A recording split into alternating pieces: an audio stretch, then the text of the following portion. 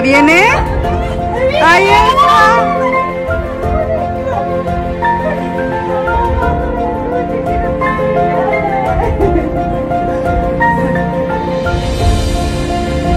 proyectos diferentes que inshallah todos eh, podemos participar y aprender, ¿no? Ese es el objetivo, continuar eh, compartiendo el Islam en Spanish y pues no me queda más que decir que alhamdulillah por, por este bello, bello evento recordando a Allah subhanahu wa ta'ala y disfruten las bendiciones de Allah subhanahu wa ta'ala.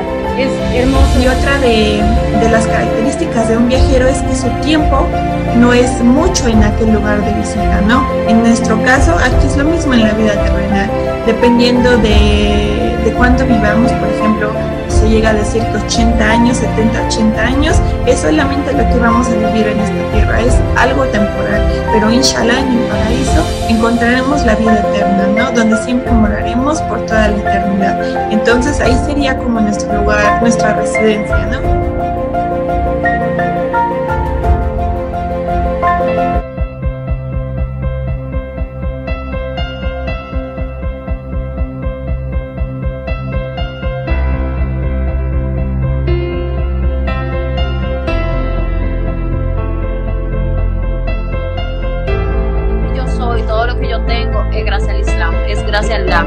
Es gracias a esta religión, porque yo creo que si yo no fuera musulmana, yo no sé qué pasaría en mi vida, yo no sé qué pasaría conmigo, de verdad.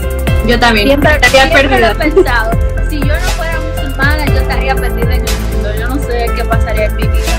Alhamdulillah, alhamdulillah que hemos encontrado el amor y la A ver, eh, en el Islam, la, el saber es un derecho que tienen los musulmanes y las musulmanas.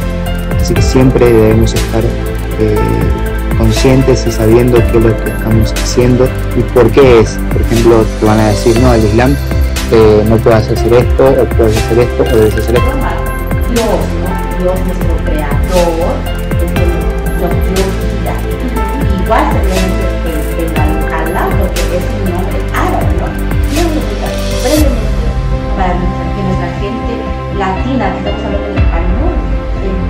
entienda que solamente estamos hablando a un solo Dios, ¿verdad? Exacto, realmente la palabra Alá la